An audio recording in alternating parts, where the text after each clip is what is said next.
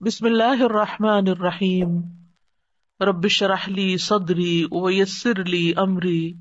वहलुल उक़दतम मिन लिसानी यफ़क़हू क़ौली।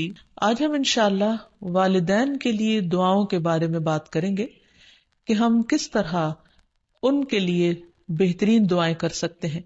क्योंकि वालिदैन वो हस्ती हैं जिनके एहसानात हम पर सबसे ज़्यादा हैं। उनके एहसानात का बदला हम चुका नहीं सकते। लेकिन हाँ एक सूरत है कि हम उनके लिए ज़्यादा से ज़्यादा दुआएँ करें, खुसूसन उस वक्त जब वो दुनिया से जा चुके हों, और हम उनके लिए किसी किस्म की कोई जिस्मानी खिदमत या माली खिदमत या किसी और तरीके से कोई मदद उनकी ना कर सकते हो। अल्लाह सुबहान तला को दुआ करना बहुत पसंद है। अल्लाह ताला फरमाते हैं, वक़ाल रब्बुकुम उदऊनी अस्तजिब लकुम। और तुम्हारे रब ने फरमाया कि मुझसे दुआ करो, मैं तुम्हारी दुआ कबूल करूँगा। तो अल्लाह सुबहान तला ने खुद हमें हुक्म दिया है कि मुझसे मांगो। तो हमें अल्लाह सुबहान तला की इतात करते हुए मांगते रहना चाहिए। और वैसे भी एक और आयत में आता है कि वह इदा सल का इबादी अन्नी फ इन्नी करीब, उजीब दावत दाई इदा दान फलियस्तजीबूली वली उमिनू यरशुदून वो इदासा अलग इबादी अन्नी, और जब आपसे मेरे बंदे मेरे बारे में पूछे, यानी अल्लाह सुबहान तला के बारे में, कि हमारा रब कहाँ है, हम उससे कैसे दुआ करें तो आप उनको बताइए, फ इन्नी करीब। मैं तो करीब हूँ, बहुत करीब, दूर नहीं हूँ, बीच में किसी और को लाने की ज़रूरत ही नहीं, सबसे ज़्यादा तो मैं ही तुम्हारे करीब हूँ। उजीब दावत दाई इदा दानी। मैं पुकारने वाले की पुकार का जवाब देता हूँ, जब भी वो मुझे पुकारता है। दिन को पुकारता है या रात को पुकारता है, गम में पुकारता है या गुस्से में पुकारता है, भूख में पुकारता है या बीमारी में पुकारता है, जब भी पुकारता है, मैं उसकी पुकार सुनता हूँ। तब उसको क्या चाहिए? कि फल यस्तजी बोली तो चाहिए कि वो भी मेरी बात माने। यानी अगर वो चाहते हैं कि उनकी दुआएँ सुनी जाए तो उन्हें मेरी इतात करनी चाहिए। ओली उमिनू और चाहिए कि मुझ पर ईमान लाए, मुझ पर एतमाद करें। मुझे अपना रब मान लें। लाल्लहुम यरशुदून, शायद कि वो सीधी राह पाए, उनको सही रास्ता मिल जाए। होता यह है कि जब इंसान की ज़िंदगी में कोई मुश्किल आती है तो उसके पीछे कोई मकसद होता है, कोई हिकमत होती है। अल्लाह सुबहान तला अपने बंदे को अपने और करीब करना चाहता है। इसलिए वो उसको किसी न किसी ऐसे दुख, तकलीफ़ या परेशानी में मुबतला कर देता है, ताकि बंदा अपने रब की तरफ़ रुजू करे, उस मुश्किल पर सब्र करके अजर पाए। अल्लाह ताला की तरफ़ रुजू करके और ज़्यादा दुआ मांगे, क्योंकि दुआ इबादत है। अदुआ इबादा। अल्लाह सुबहान तला के नज़दीक नहायत पसंदीदा इसलिए हमें कसरत से पुकारते रहना चाहिए। और जब भी हम दुआ मांगे तो उससे पहले अल्लाह ताला की हमदो सना ज़रूर बयान करें। एक हदीस में आता है अब्दुल्ला बिन मसूद रज़ी अल्लाह अनहु कहते हैं कि मैं नमाज़ पढ़ रहा था और नबी सल्लल्लाहु अलैहि वसल्लम, अबू बकर और उमर एक साथ थे। जब मैं बैठा तो अल्लाह ताला की हमदो सना बयान की। फिर नबी सल्लल्लाहु अलैहि वसल्लम पर दुरूद भेजा, फिर अपने लिए दुआ की। तो नबी सल्लल्लाहु अलैहि ने फरमाया मांगो, अता किया जाएगा। मांगो, अता किया जाएगा। तो इससे पता ये चलता है कि दुआ से पहले अल्लाह ताला की हमदो सना बयान करना ज़रूरी है। अल्लाह ताला की हमदो सना के बेपनाह कलिमात हैं। लेकिन आज हम उन कलिमात में से एक कलिमा, जो अल्लाह ताला को बेहद महबूब है, वो आपको बताते हैं, जो नमाज़ के आगाज़ में भी पढ़ा जाता है। और नमाज़ के अलावा भी अगर अल्लाह ताला की हमदो सना करना हो तो इस दुआ को पढ़ सकते हैं। सुबहानक व बिहम्दिका व तबारक अस्मुका व तआला जद्दुका व ला गैरुक। ए अल्लाह, तू पाक है अपनी तारीफ़ के साथ। तेरा नाम बड़ा ही बरकत वाला है। तेरी बुजुर्गी बुलंद बरतर है। तेरे अलावा कोई भी इलाह नहीं है। तो बहरहाल, वालदेन के लिए दुआ करने से पहले अल्लाह सुबहान तला की हमदो सना बयान कीजिए, फिर नबी सल्लल्लाहु अलैहि वसल्लम पर दुरूद भेजिए और फिर अपने माँ बाप के लिए दुआएँ कीजिए, क्योंकि ये अल्लाह ताला का हुक्म भी है। वकुल रब्बिर हम हुमा कमा रब्बयानी सगीरा। और आप कह दीजिए, ऐ मेरे रब, उन दोनों पर रहम कीजिए, यानी वालिद पर भी और वालिदा पर भी, जैसे उन्होंने मुझे छोटा सा पाला था बचपन में पाला था। जब मैं न खुद खा सकता था, न पी सकता था और न खुद अपने आप को साफ़ कर सकता था तो उन्होंने दिन रात बगैर किसी वक्फे के मेरी खिदमत की। तो ए रब, अब जबकि वो बड़े हो गए हैं, वो तेरी रहमत के मोहताज हैं तो उन पर रहमत फरमा और उनकी मुश्किल आसान फरमा। फिर इसी तरह वालदेन अगर ज़िंदा हो तो भी दुआ की जाए और अगर वो फौत हो जाए तो वो और भी ज़्यादा दुआओं के मुस्तक हो जाते हैं। जब बरजख में वालदेन का दर्जा बढ़ा दिया जाता है, यानी बुलंद किया जाता है तो वो पूछते हैं कि हमें दर्जे की ये बुलंदी क्यों कर हासिल हुई? तो उन्हें बताया जाता है कि ये तुम्हारी औलाद की दुआ की वजह से। वैसे भी जब इंसान फौत हो जाता है तो उसके अपने अमल का सिलसिला खत्म हो जाता है। तीन चीज़ें मरने के बाद भी फ़ायदा देती हैं, जिनमें से एक सदका जारिया है। दूसरे, ऐसा इल्म जो इंसान अपने पीछे छोड़ जाए, जिससे लोग फ़ायदा उठाएँ। और तीसरे वलदुन सालिहुन यदू लहू नेक औलाद जो अपने वालदेन के लिए दुआएँ करे। यानी बेटे की दुआ या बच्चों की दुआ अपने वालदेन के हक में कबूल होती है, इसलिए खूब खूब दुआएँ करनी चाहिए। हम देखते हैं कि मुख्तलिफ़ पैगंबर भी अपने रब से अपने वालदेन के लिए दुआएँ करते रहे हैं। जिनमें नू सलाम की दुआ है, वो कहते हैं रब फिरली वली वालिदैया, वली मन मुमिन वलिल मुमिनीन वल ए मेरे परवरदिगार, मुझे बख्श दे और मेरे वालदेन को बख्श दे और हर उस शख्स को जो मेरे घर में मोमिन की हैसियत से दाखिल हुआ हो, उन सबको भी बख्श दे। इसी तरह इब्राहिम सलाम की दुआ है, रब्बन अगफिरली वली वालिदैया वलिल मुमिनीन यौम यकूमुल हिसाब। ए हमारे परवरदिगार, मुझे, मेरे वालिदैन और तमाम मोमिनों को उस दिन माफ़ कर देना, जिस दिन हिसाब लिया जाएगा। फिर इसी तरह हम देखते हैं कि साहबा कराम अपने वालदेन के लिए दुआएँ किया करते थे, जिनमें खासतौर पर हज़रत अबू हुरारा का ज़िक्र मिलता है कि वो ईमान ले आए थे, लेकिन उनकी वालदा मुशरका थी और वो नबी सल्लल्लाहु अलैहि वसल्लम के बारे में ऐसे कलिमात कह देती जिससे उनको बहुत तकलीफ़ होती। तो एक मरतबा इसी तरह के कुछ कलिमात सुनकर वो रोते हुए नबी सल्लल्लाहु अलैहि वसल्लम के पास आए। कह लगे कि, या रसूल अल्लाह सल्लल्लाहु अलैहि वसल्लम, आप मेरी वालिदा की हिदायत की दुआ कीजिए। बहरहाल आप सल्लल्लाहु अलैहि वसल्लम ने हाथ उठा दिए, उनके लिए दुआ की। और जब हज़रत अबू हुरैरा वापस घर पहुँचे तो उनकी वालिदा इस्लाम कबूल कर चुकी थी। हकीकत यह है कि वालदेन के लिए खुद भी दुआ करनी चाहिए और दूसरों से भी दुआ की दरखास्त करनी चाहिए। फिर इसी तरह हम देखते हैं कि एक मरतबा अबू हुरारा जब अपने वतन पहुँचे तो बड़ी ऊँची आवाज़ में कहा, अम्मा जान, अस्सलाम की व रहमतुल्लाहि व उन्होंने जवाब दिया, व अलैकस्सलाम व रहमतुल्लाहि व फिर अबू हुरारा कहने लगे, अल्लाह ताला आप पर रहम फरमाए, जैसा कि आपने बचपन में मेरी परवरिश फरमाई। उनकी वालिदा ने जवाब दिया, ऐ मेरे बेटे, तुम्हें भी अल्लाह ताला बेहतरीन जजा दे और तुमसे राज़ी हो। जैसा कि तुमने मेरे साथ बुढ़ापे में नेक सलूक किया। हकीकत यह है कि हम पर इंसानों में से सबसे बड़ा एहसान हमारे वालदेन का है। अल्लाह सुबहान तला ने अपने हक के बाद सबसे बड़ा हक हमें वालदेन ही का बताया है। अल्लाह ताला ने बनी इसराइल से पक्का अहद लिया था। कुरान मजीद में आता है, वह इद अखद अखदना मीसा का बनी इसराइल ला ताबुदून इल्लल्लाह व बिल वालिदैन एहसाना। और वो वक्त याद करो जब हमने बनी इसराइल से ये पुख्ता अहद लिया कि तुम लोग अल्लाह के सिवा किसी की इबादत न करोगे और वालिदैन के साथ एहसान करोगे।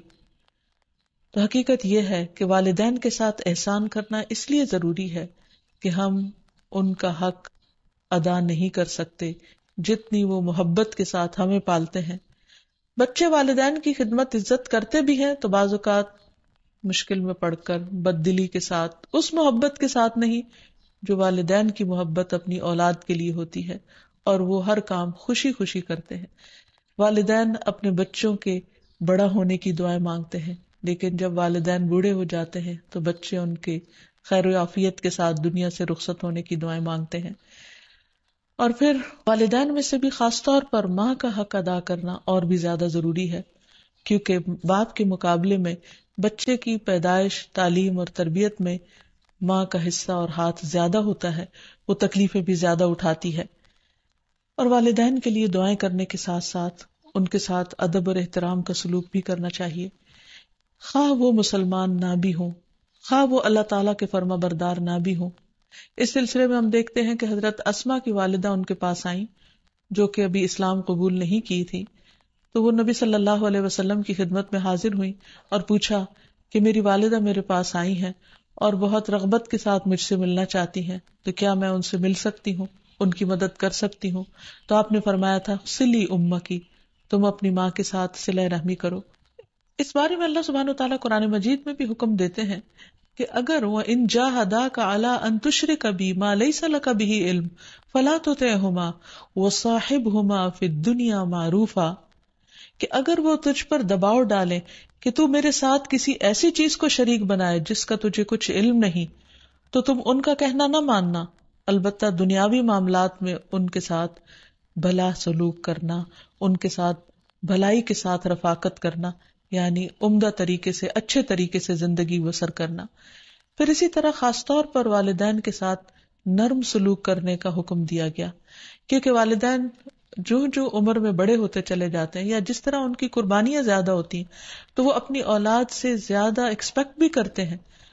तो उन्हें बच्चों की तरफ़ से मिलने वाली छोटी सी तकलीफ़ भी बहुत नागवार होती है।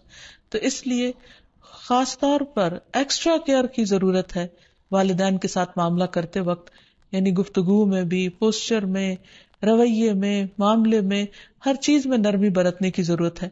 इस सिलसिले में अल्लाह ताला फरमाते हैं वक़्फ़िद लहुमा जनाह ज़ुल्ल मिन रहमा वकुर रब्बिर हमहुमा कमा रब्बयानी सगीरा और उन पर रहम करते हुए इनकिसारी के साथ उनके आगे झुके रहो और उनके हक में दुआ करो कि ए मेरे रब इन पर रहम फरमा जैसा कि इन्होंने बचपन में मुझे मोहब्बत और शफकत के साथ पाला था इस सिलसिले में हमें एक रिवायत में ये भी मिलता है अब्दुल्ला बिन मसूद कहते हैं कि एक शख्स ने नबी सल्लल्लाहु अलैहि वसल्लम से पूछा कि कौन सा अमल सबसे अफजल है? आपने फरमाया, वक्त पर नमाज़ पढ़ना और वालदेन के साथ नेकी करना, फिर अल्लाह के रास्ते में जिहाद करना। यानी सबसे पहला काम नमाज़ और फिर इंसानों में से वालदेन के साथ हुसन सलूक। लेकिन आमतौर पर वालदेन को औलाद के साथ शिकायत ही रहती है, क्योंकि बाज़ात लोग नमाज़ भी पढ़ लेते हैं, सदका खैरात भी कर लेते हैं। लोगों के साथ अच्छी तरह भी मामला कर लेते हैं। लेकिन वालदेन के साथ उनका वो शफकत और मोहब्बत का मामला नहीं होता जिसको वो डिजर्व करते हैं। आप देखिए कि आयत में कितनी ताकीद के साथ कहा जा रहा है कि वक्फिद लहुमा जनाहुल कि तुम अपने पर यानी अपने कंधे उनके सामने आजजी और इनकिसारी के साथ झुका के रखो। यानी जब उनके सामने बैठो या खड़े हो या बात करो तो उस वक्त भी तुम्हारे अंदर एक खास किस्म का झुकाव होना चाहिए। फिर इसी तरह यह है कि वालदेन को उफ तक कहने की इजाज़त नहीं। बाजुकत इंसान का अपने वालदेन के साथ डिसएग्रीमेंट हो जाता है। किसी बात पर इख्तलाफ हो सकता है। वो दीन का मामला हो सकता है, वो दुनिया का मामला हो सकता है, वो सोच का फ़र्क हो सकता है, वो जनरेशन गैप हो सकता है, वो कोई भी चीज़ हो सकती। लेकिन इसमें औलाद को ये हक नहीं दिया गया कि वो वालदेन के साथ बदतमीजी करे। हमारे दीन ने हमें यह सिखाया है कि वला तकुल्लहुमा उफ़िन वला तनहर हुमा। कि तुम उनको उफ तक न कहो और उनसे डांट कर बात न करो। वकुल्लहुमा कौलन करीमा और उनके साथ जब बात करो तो बहुत इज़्ज़त के साथ करो, एहतराम के साथ करो। फिर इसी तरह उनके साथ सख्ती से बात न की जाए। उनका नाफरमान न बना जाए। जैसे अल्लाह सुबहान तला ने याहिया सलाम को ये हुक्म दिया था, या खुदिल किताब बिकुवा व आतईनाहुल हुक्म सबिया तकिया, व बर्रम बिवालिदैहि व लम यकुन आसिया। अल्लाह ताला ने को बचपन में ही हुक्म दिया कि किताब को, यानी तौरात को मजबूती से पकड़ लो, उस पर मजबूती से अमल पैरा हो जाओ। और हमने उसे बचपन में ही कुत फैसला अता की, और हमने उसे अपनी मेहरबानी से नरम दिल और पाक सीरत बनाया, और वो फिल वाक़ परहेजगार थे, और अपने वालदेन से हमेशा अच्छा सलूक करते थे। ये कुरान मजीद की गवाही। और किसी वक्त भी जाबर और नाफरमान न हुए, यानी उन्होंने कभी भी अपने वालदेन के साथ बदतमीजी नहीं की, सख्ती नहीं की, बदअखलाकी नहीं की। फिर इसी तरह वालदेन की नाफरमानी को हराम भी करार दिया गया। हदीस में आता है कि इन अल्लाह हर्रमा को उकूकल उम्महात। अल्लाह ने तुम पर माओ की नाफरमानी को हराम करार दिया है। फिर इसी तरह एक और हदीस में आता है कि अल्लाह ताला की रजामंदी बाप की रजामंदी में है और अल्लाह की नाराज़गी बाप की नाराज़गी में है। इसलिए वालिद का हक अदा करना भी माँ के साथ साथ बहुत ज़रूरी है और वालदेन का हक अदा न करना कबीरा गुनाहों में शुमार होता है। और कबीरा गुनाह वो है कि जिन पर अगर इंसान तौबा किए बगैर मर गया तो क्यामत के दिन सख्त पकड़ होगी। और इसी तरह वालदेन को रुलाना भी कबीरा गुनाह है। उनको गाली देना कबीरा गुनाह है। फिर इसी तरह वालदेन तो वो हस्ती हैं कि जिनके लिए दुआओं के साथ साथ उनकी तरफ़ से सदका खैरात करना भी खसूस उनके ज़िंदगी के बाद बहुत फ़ायदा मंद है। इंसान को अगर ज़िंदगी में कुछ मुश्किल पेश आए, अपने बच्चों की तरफ़ से कोई परेशानी हो, या अपनी सेहत की तरफ़ से, या कारोबार और रोज़गार में अगर कोई परेशानी हो तो उस वक्त इंसान को अपने वालदेन के साथ हुसन सलूक करना चाहिए। ये उन नेकियों में से है जिसकी वजह से इंसान की मुश्किल बहुत जल्द हल हो जाती है। और खसूस सदका देते वक्त वालदेन की तरफ़ से, यानी उनको सवाब पहुँचाने की नीयत से सदका किया जाए। इस सिलसिले में हम देखते हैं, एक आदमी ने नबी सल्लल्लाहु अलैहि वसल्लम से अर्ज़ किया, मेरे वालिद फौत हो गए हैं और उन्होंने माल छोड़ा है, लेकिन वसीयत नहीं की। तो क्या मैं उनकी तरफ़ से सदका करूँ? तो उनके गुनाह माफ़ कर दिए जाएँगे। आपने फरमाया हाँ। इसी तरह हज़रत आयशा से रवायत है कि एक आदमी नबी सल्लल्लाहु अलैहि वसल्लम के पास आया और अर्ज़ की कि, या रसूलल्लाह, मेरी वालिदा बगैर वसीयत के फौत हो गई हैं और मेरा गुमान है कि अगर वो बात करती तो सदका करती। अगर मैं उनकी तरफ़ से सदका करूँ तो क्या उनको अजर मिलेगा? आपने फरमाया कि हाँ। फिर इसी तरह वालदेन के अगर रोज़े रहते हो तो उनके कजा रोज़े अदा किए जा सकते हैं। अगर वो हज ना कर पाए हो तो उनकी तरफ़ से हज बदल किया जा सकता है। ये उनके लिए एक बहुत बड़ा एहसान होगा। फिर इसी तरह उनकी नज़र पूरी की जा सकती है कि अगर उन्होंने ज़िंदगी में किसी से कोई वादा किया हो और वो उसे पूरा ना कर सके हो। अल्लाह ताला के लिए कोई नज़र मानी हो और उसे पूरा ना कर सके हो तो उसको अदा कर दिया जाए। तो खुलासा यह है कि इंसान अपने वालदेन के साथ जो एहसान कर सकता है, उसमें जब वो ज़िंदा हो तो उनका दिल खुश करे, उनकी खिदमत करे, उन पर अपना माल खर्च करे, उनकी इतात और फर्मा बरदारी करे खा वो अल्लाह के फर्मा बरदार हो या ना हो, उनके साथ उसने सलूक करता रहे। जब वो फौत हो जाए तो उनकी तरफ़ से सदका खैरात करे। वालदेन के दोस्तों के साथ उसने सलूक करे और उसके साथ साथ उनके लिए खूब खूब दुआएँ करे। और खसूस ये मुख्तसर सी दुआ जो अल्लाह सुबहान तला ने खुद हुक्म दिया करने को रब हम हुमा कमा रब यानी सगीरा। इस दुआ की खूब खूब तकरार करे और उनकी बख्शिश की भी दुआ करे। दुआएँ करें दिन रात दुआएँ करें लेकिन आप सूरत नहीं दे सकते उनको बिल्कुल ये मैं आज कुरान पढ़ा तो आज का फुला के लिए आज का फुला के ये नहीं हो सकता। ये आप ही के लिए। नमाज़ भी नहीं कर सकते कि ये मेरे दो नफल फुला के लिए। कोई दलील नहीं इसकी सुन्नत में।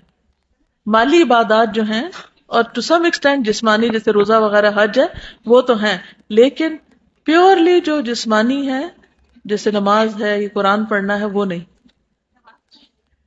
इससे क्यास किया जाता है कि हज कर सकते तो उम्र बदल भी होता है तो तवाफ भी उस सेंस में हो जाता है। सदका जारी इसलिए होगा कि उन्होंने आपको पढ़ाया, लिखाया तो वो सदका जारी उनके लिए बन जाएगा। औलाद जो काम नेक करती है, वो माँ बाप को मिलते हैं। लेकिन आप ये नहीं कर सकते, जो भी पढ़ेंगे, आप ये नहीं कर सकते, कुल वल्ला उनके लिए और कुल रब्बिल फलक मेरे लिए। ये नहीं। वो भी उनके लिए और दूसरी भी उनके लिए, सब मिलेगा उनको क्योंकि आप पढ़ रही हैं। यानी आप ये नहीं कह सकते कि ये सूरत के इतने हर्फ की जो इतने हज़ार नेकियाँ बनती हैं, वो नेकियाँ मेरे बजाय फलां को मिल जाए।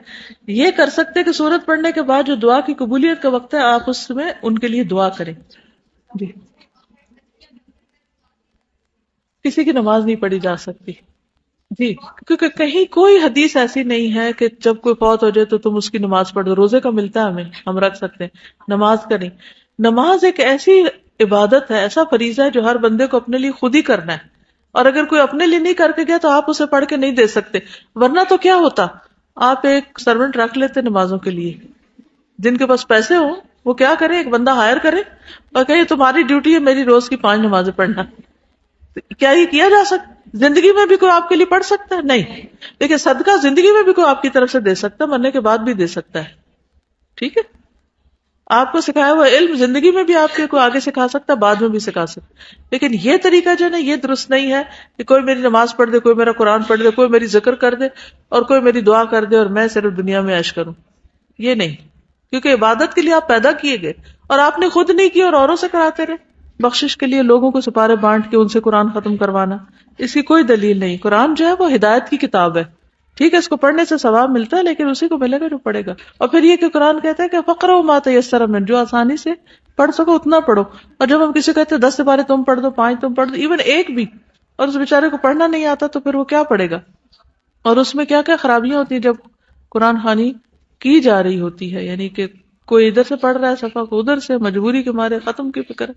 सारी तवज्जो इस बात की खत्म करके नंबर बता दे कि इतने हो गए। उसका भी दिखावा। नबी सल्लल्लाहु अलैहि वसल्लम ने फरमाया, कुरान मजीद, उस वक्त तक पढ़ो जब तक उसमें दिल लगे। जब दिल उचाट होने लगे तो पढ़ना बंद कर दो। यानी कि दिल ही न लगे किसी वक्त आपका। मतलब ये कि एक पूरी मंजिल आपने पढ़ ली, दस से पारे पढ़ लिए, आप थक गए तो बस अब बस कर दो। दीन बिल्कुल वाज है, सफ़ेद रोशन, दिन की तरह। जो जो करना चाहिए था वो नबी सल्लल्लाहु अलैहि वसल्लम भूले नहीं, सब कुछ बता के गए हैं। हमारा काम है उसको ज़िंदा करें, उस पर अमल करें। ना कि जो उन्होंने नहीं किया, वो अपने से शुरू करके मुजरिम बने। तो उन चीज़ों से बचने की ज़रूरत है। और आखिर में हम सब दुआ करते हैं अपने वालदेन के लिए कि अल्लाह ताला उन पर अपनी रहमतें फरमाए और उनको अपना पसंदीदा बना ले। और अगर वो दुनिया से जा चुके हैं तो उन्हें जन्नत में आला मकाम अता फरमाए। व आखिर दावाना अनिलहमदिल्ला रबालमीन असलकम वरहमल वर्का